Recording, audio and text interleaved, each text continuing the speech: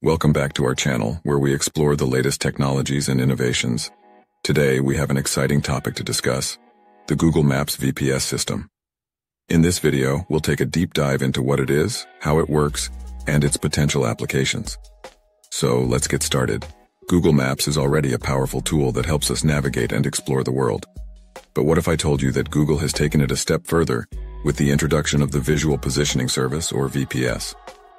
Google Maps, VPS brings augmented reality, AR, to the navigation experience, making it even more immersive and accurate. Let's find out how it works. Google Maps VPS utilizes a combination of GPS, visual data, and machine learning algorithms to precisely determine your location and orientation in real time. It does this by analyzing the visual features in your surroundings and matching them to the massive amount of data collected by Google Street View. When you activate the VPS mode in Google Maps, your camera becomes your guide. As you move your phone around, Google Maps continuously captures the images from your camera and compares them to the Street View imagery. By identifying distinct visual landmarks, such as buildings, street signs, and even storefronts, Google Maps can accurately determine your location and provide you with directions accordingly.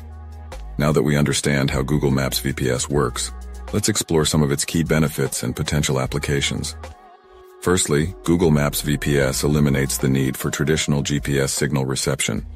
This allows you to see the route and relevant points of interest superimposed on the real-world view, making it easier to follow directions and find your way. Lastly, Google Maps VPS opens up a world of possibilities for businesses. Imagine walking down the street and receiving real-time information about nearby restaurants, shops, or attractions right on your screen. This AR integration can revolutionize the way we discover and interact with our environment.